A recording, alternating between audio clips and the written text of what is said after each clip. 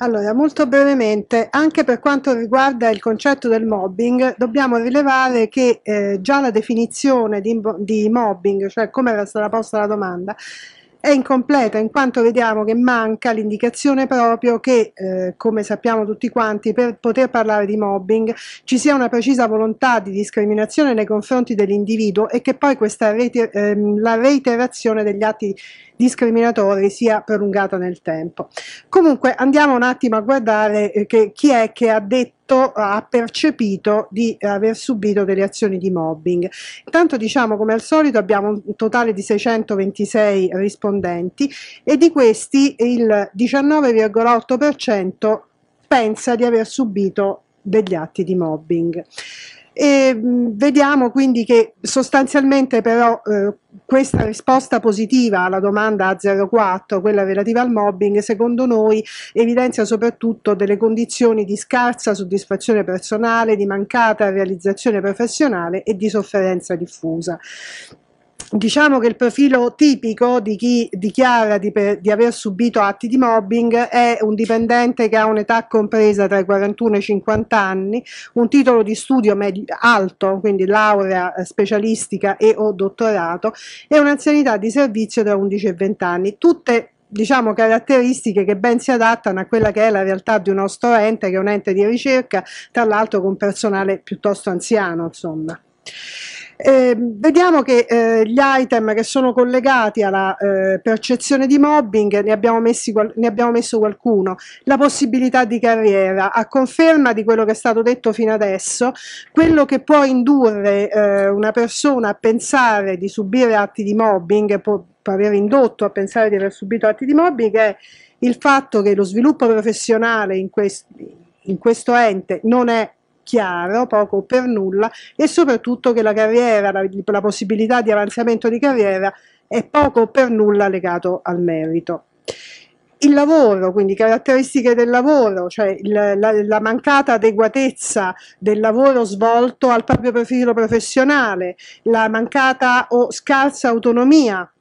nello svolgimento del proprio lavoro o eh, il fatto di essere poco o per nulla valutato eh, in base ad elementi importanti per il proprio lavoro. Quindi io sto riassumendo quelli che, che sono le caratteristiche che hanno portato quel 19,8% di rispondenti a pensare di aver subito atti di mobbing. Oppure i rapporti con i colleghi di lavoro, di questi ne abbiamo già parlato, cioè il fatto che per esempio ehm, posso essere il 49,2% di quel 19,8% pensa di essere stimato poco dai colleghi, oppure addirittura che l'informazione non viene messa eh, su, mh, mm, sufficientemente in condivisione tra i colleghi, l'informazione relativa al lavoro. E mh, mm, ricordiamo che l'isolamento professionale a questo proposito è una caratteristica molto importante del fenomeno di mobbing, in quanto eh, quando questo è... Eh, interpretato con continuità a discapito del singolo, il singolo viene eh, isolato, non gli viene eh, fornita adeguata eh, informazione sul lavoro, viene messo da parte o addirittura non gli viene proprio fornito il lavoro, questo sappiamo che è un'indicazione abbastanza precisa per il mobbing, quindi probabilmente quelle due domande a cui ho fatto riferimento prima hanno un po' diciamo indirizzato la risposta di quelli che eh, hanno dichiarato di aver subito atti di mobbing.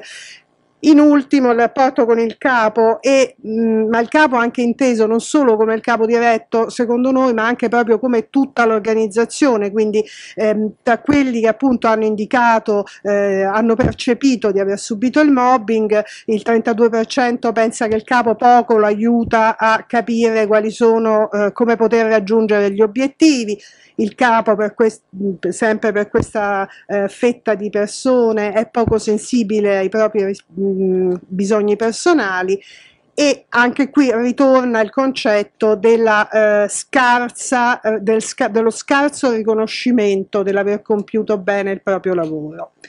Quindi conclu concludendo brevemente, eh, sulla scorta di quello che noi abbiamo potuto esaminare e mh, partendo proprio dal presupposto che eh, comunque la domanda era diciamo fuorviante